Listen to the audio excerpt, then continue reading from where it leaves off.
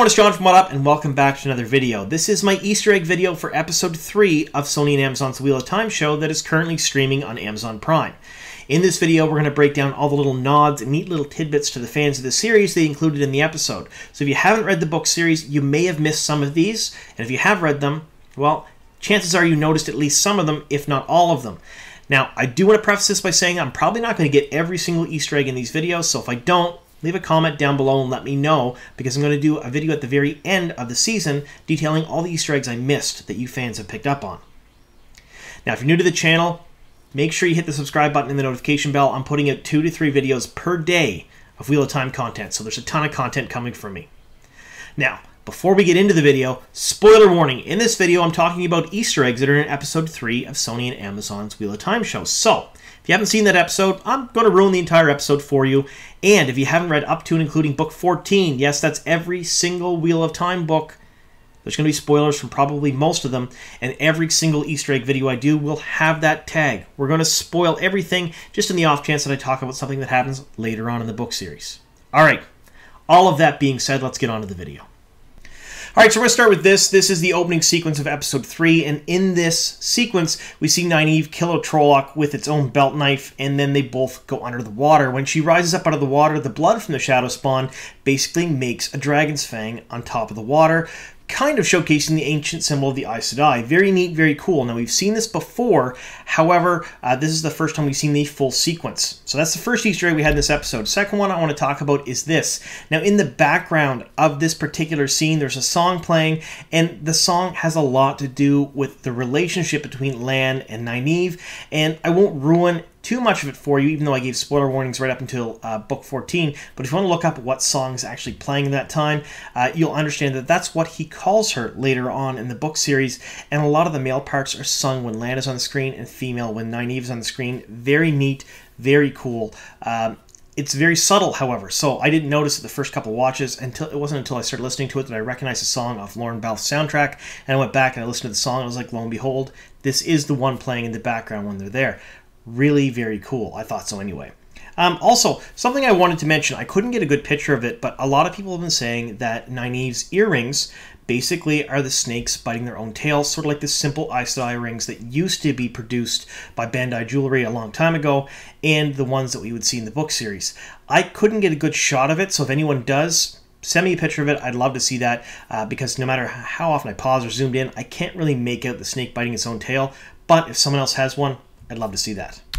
All right, now we're going to talk about Perrin's dream. This is really interesting because the first of Perrin's dream, he's waking up in bed without his wife. And as he walks past the window, outside, lo and behold, there's the Dark One or Ishamael, whoever you want to call him, um, but he is outside the house. Now, this is important for a couple of different reasons. He's not just watching Perrin in his dream, because let's face it, that's kind of what they're doing, but when Rand had his dream, he showed himself to Rand to scare him but he's further away from Perrin in this scene than he was from Rand. And I think that's because as Perrin comes around the corner, a wolf is there. Now, we all know that Perrin is a wolf brother and wolves protect him. That's, Moiraine even says that in the book series that he's found his own protection because the wolves do protect him within the wolf dream or the world of dreams, um, depending on how you want to look at it. And this is pretty interesting because the wolf is eating the body of his dead wife. And she turns around, looks at him, and says, I know. Now, a lot of foreshadowing here, I think. So there's been a ton of theories, and I mentioned a theory in my last Easter egg video with Laila in for episode one that she was a dark friend and that she was trying to kill Perrin. I still hold to that. Now, we know that in the Eye of the World in the book series, near the very end, Rand is basically tempted with his mother because the Dark One grabbed her soul and used her against him um, during their battle and we all know it was a Ishamael, not really the Dark One. But I think they're going to trade things up a little bit here, and it's going to be just a bit different. It'll be Perrin instead, and I'm going to say that maybe some of Dana's speech when they're in um, the Four Kings Inn with uh, Mat and Rand is going to have some importance later on about breaking the world, about all the bad things that are happening, about breaking the wheel, no more time, um, which is essentially what Moridin and Ishamael really wanted, and they talk about that quite extensively throughout the later books. I'm going to say that maybe appealed to Laila because there's been a lot of thoughts. Maybe she had a miscarriage. Maybe she was pregnant. Maybe there was a child involved prior to and it's no longer there. Uh, there's a lot of speculation on what's going on there. And maybe she turned to the Dark One out of sadness and fear. I don't know. But this sort of looks like the wolf is is protecting Perrin from uh, the Dark One or Ishamael, and maybe, just maybe, he's also protecting him from the image of his dead wife that is summoned there. I don't know. Let me know your thoughts down below in the description box. I'm still holding to the theory that she is a dark friend, and we're going to see her later on in the series in a flashback or two, or maybe in another dream sequence like this. All right, this isn't so much an Easter egg as a really good picture of Ishamael. Now, uh, for non-book readers, they're probably going to wonder why he has eyes of fire, his skin is all destroyed, and his his big furnace for a mouth. Uh, essentially, what this is is he is almost exclusively at this point in the book series using what's known as the true power. This is power drawn directly from the Dark One and no one else. So he's not using the one power. He's not using the male half of the true source. He's using the true power. And in the late stages of true power addiction, the eyes turn to caverns of fire, the mouth turns into a furnace. Um, all kinds of really bad things happen to your body, insanity, things like that. And at this point in the series, he really does think he's the Dark One because he's pretty much that far gone. And I think that's right up until the end of the Dragon Reborn when Rand defeats him for the third time. Um, before he is reborn later on in the series, that he thinks that. So again, really good shot of this a lot of the non-book readers and other people watching this, that's the Dark One. That's who that is. That's it's Ishamael for sure. Um, but I'm wondering how they're doing this. Is it just his projection? Is he going to showcase himself like this when he's using the True Power later on? I'm really interested to see, and I want to hear all of your thoughts on that down below in the comments. Let me know. Do you think we're going to see a fight between this version of Ishamael at the end of the first season in, in episode 8? Are we going to see maybe someone different, like Billy Zane? or whoever is cast as a Ishamael. I'm not entirely sure myself, but let me know what you folks think.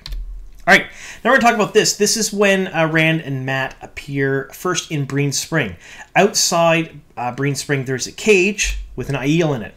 Uh, we've seen this from some promotional material before, and I had mentioned that this was an Aiel back then, and some people didn't think it was. However, when the episode came out, Obviously, it is not yield because they say it is. But what he has there on his side looks to be a piece of amethyst. Um, I don't think this particular stone has much significance in any way, shape, or form, other than the fact that it's some loot that he has that Mat wants. Now, this Aiel in a cage is obvious foreshadowing to uh, the fact that we see Gaul later on in the series when Perrin rescues him in a cage in a town. Um, but this town is not the same one. So what I want to talk about now is this. This is the inn. Outside the inn are these four pillars. Uh, Rand and Mat obviously go in the inn. This town is Breen Spring. Breen Spring is a town in the book series, however, it's not one they really meet uh, or go to or spend some time in. But Four Kings is, and Four Kings is where Rand first actively channels. Now, I know he channeled before in the book series uh, when he relieved Bela of her tiredness. However, this is when he first overtly channels, and people really start to notice it that are reading the books. Um, and the town is called Four Kings.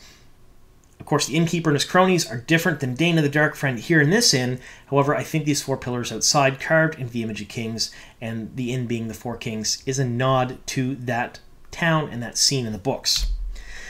Now, once they get inside, we see Tom, and a lot of people have said he doesn't have his multicolored cloak. It's pretty upsetting. Why doesn't he look like a gleeman? There, the patches right there. They're sewn on the inside of his coat. A little bit different change in the book series for sure, although most of his character so far has been changed anyway. Uh, so I don't know why this is a surprise to some people at this point. However, I do like it. I think the overt cloak with all the patches on it may not look really good. It might look cartoony, might not look um, how you would like it on the screen. I personally like this a lot better. He can showcase that he's a gleeman by flourishing his coat, and you can see the patches underneath without a gaudy, huge cloak over top of it. Now, I know that's probably not a popular opinion, and a lot of people are probably saying, well, I want to see the cloak. This is what they gave us. I personally like it. But again, it is there, and it's a small nod to the fact that he does wear a cloak like that in the book series. Now we're going to talk about this. Now, Tom in the book series is very light fingered. He hides knives all about his person, and we're going to see that here in a second. Um, he is very nimble, uh, especially for a man of his advanced age in the book series. He showcases that here. Now, I incorrectly stated that he stole from Mat in an earlier episode when I talked about this, although in a roundabout way he kind of did, because Mat gets stolen from, and he lifts the purse from the person who steals from Mat. Now, this basically just shows that he has very light fingers, he's very nimble, he's very quick, um, sort of like in the book series. So I wanted to show that.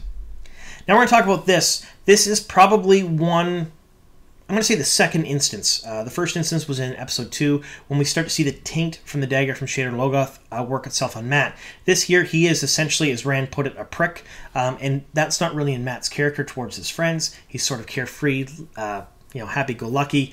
Um, even in the series, in the first episode, that's kind of what he seemed like. Even though he did steal from uh, that that lady in Emond's Field, it seems like he was doing it for the right reasons more than anything else. Here, he's just being an absolute ass for no reason, um, and I think that is the dagger's taint starting to work itself on him. Now, we do know that in episode four, according to the trailer, we start to see a more physical visual version of the taint because it's starting crawling in his mouth, uh, kind of like a, Venom. Have you seen Venom, the alien symbiote?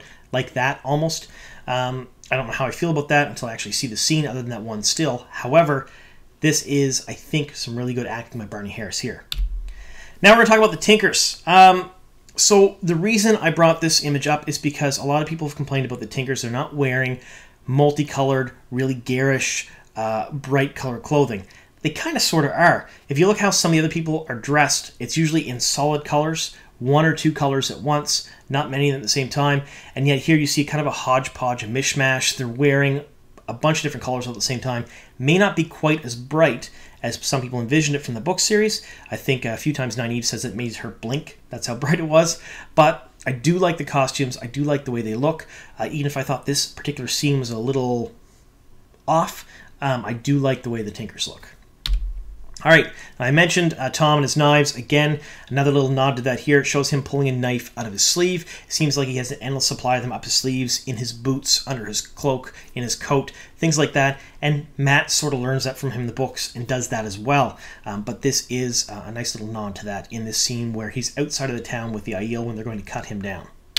All right, this is something else, um, and Rafe Judkins was actually asked about this in the AMA, and I didn't see if he had answered or not because the last time I checked he hadn't. However, when Mat loots the body of the Aiel, he pulls this out, and this is a carved dog. So my guess is this is a little nod to the book readers that this Aiel may have been a stone dog. I'm not saying that they're going to carry uh, little amulets or little plaques or figurines or trinkets to showcase which warrior society they're from. However, this might be a small nod to the fans saying that this is a stone dog. It's my guess anyway. Um, let me know in the comments down below if you believe that as well. All right, now here, this is where we see Rand channeling overtly on screen for the first time. I don't believe there's an instance anywhere else in the book or in the show rather that we've seen him use the one power um, visually. I don't think. Uh, if I missed it, let me know. I certainly haven't covered it in any Easter egg videos or anything, and if I did miss it, I want to know. But this is where this is an ironwood door, couldn't be broken down by three men, and he bangs into it just a couple of times, and then it falls down with him on top of it. Shocks Dana the Dark Friend. Um, I don't think it shocks Rand too much because he gets up and just runs away. However, a door that thick, that size, where she's saying that only three people can bust it down, and he really only hammers on it a couple of times and not that hard for it to fall down, he must be using the one power. Certainly not as flashy as the scene in Four Kings when he uses lightning to basically blast open the side of the inn for him and Mat to escape, although perhaps it's a subtle nod to that because they seem to be holding the identity of the dragon very close to their vests for the show, um, and it could be anyone. It could be Mat, Perrin, Rand, Egwene, and at some points and or another, they even mentioned Nynaeve until we seen the first episode when we found out she was a little bit older than everyone else. However, I think they're going to do this right up until almost the final episode when they reveal Rand is the actual dragon. I don't believe they're going to change that in any way, shape, or form, but I think they're going to keep the audience guessing to that point. All right. Uh, so that's pretty much all I have here for the Easter eggs for the third episode. I've uh, I've talked here for a bit now. If I've missed anything, absolutely let me know in the comments down below. Send me the images if you have them. I'm going to compile a list of all the Easter eggs I missed for the first season after the first season finishes airing on December 24th. I'm going to do a full video with your folks' help, of course. So, thank you so very much for sticking with me here to the very end. Here's to many more.